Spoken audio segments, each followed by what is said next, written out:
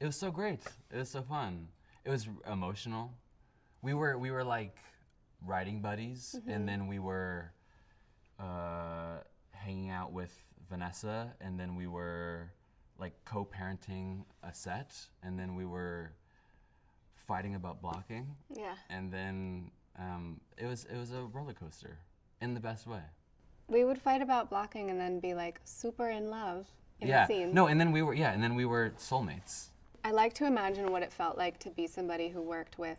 I'm always so fascinated and like really want that kind of collaborative relationship that men and women have had in this industry, or like a male and female duo, like Mike Nichols and Elaine May, or Yeah. Cassavetes and I- Gena I- Rowlands.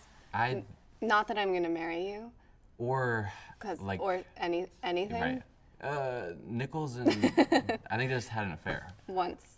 One time. I think one time, Right. but probably not you and me. Sorry. For sure.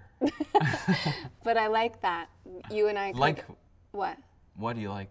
I like that you and I can work on all things Yeah. making a movie together. Like be annoyed, be in love, be Yeah. really angry. Like you annoy me more than anybody Right. in the whole world. But you also love But me I love more you than so much. more than anyone in the world. Mm, I love you so much.